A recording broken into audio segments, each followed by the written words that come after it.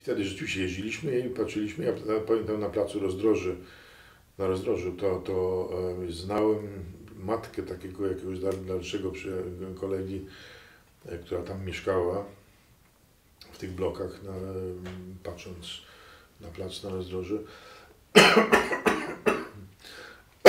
biedni, biedni patrzyli, my poszliśmy do niej. Trochę głupio, trzech drabów wielkich, właśnie po- podejrzanych grubych kurtkach i jakoś tak dziwnie wyglądających. I ona była trochę przerażona, bo też właściwie wiedziała, że to już jest drugi dzień stanu wojennego. A tu raptem pukają, pukają do drzwi właśnie mało znani, a, a ja tylko trochę znany jej o, o, osoba, więc e, i żeby, żeby robić po prostu zdjęcia przez okno, bo się baliśmy na ulicy e, wyciągać aparaty E, i po prostu szukaliśmy okien właśnie, z których można fotografować. E, Więc tak to właśnie było, że, że, e, że, że pukaliśmy do różnych drzwi moich niby znajomych właśnie, dalszych właśnie i wszyscy się bardzo bali, nie bardzo chcieli nas puścić, ale też nie bardzo mogli nas zostawić na, na, na klatce schodowej e, w podejrzanym jakimś takiej, to nie wiadomo kto, kto mieszka, jacy ludzie tam mieszkają, czy to są ubecy, czy nie ubecy, więc trzeba było nas szybko sprzątnąć do, do mieszkania i siłą rzeczy mogliśmy robić przez te okna, ale oni wszyscy się bali. Więc kilka razy tak, i tak, tak robiłem, tam gdzie ja pamiętałem, gdzie ktoś, ktoś mieszka.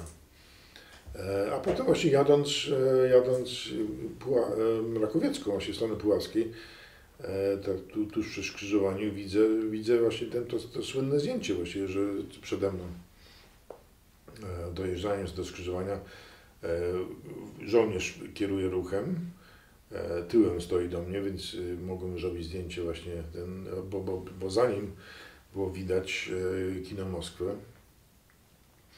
E, I już mi się zaczęło się kojarzyć właśnie z kino Moskwa, jest żołnierz, to już jest dobry ten i, i chyba już było widać już z Rakowieckiej, że to jest, że film jest czas apokalipsy, więc tu w tym momencie wiedziałem, że, że to jest ładne skojarzenie z tym żołnierzem, z tym, z tym, tym e, z tym billboardem, że to fi- film jest czas apokalipsy, no i to, że kino Moskwa.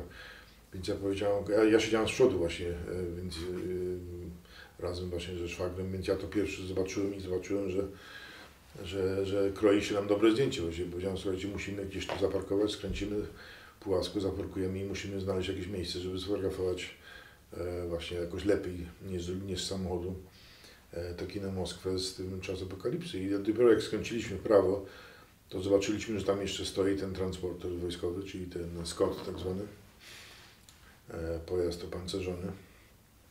E, Czyli już właściwie idealnie było, no już wiedzieliśmy, że to, że to jest to.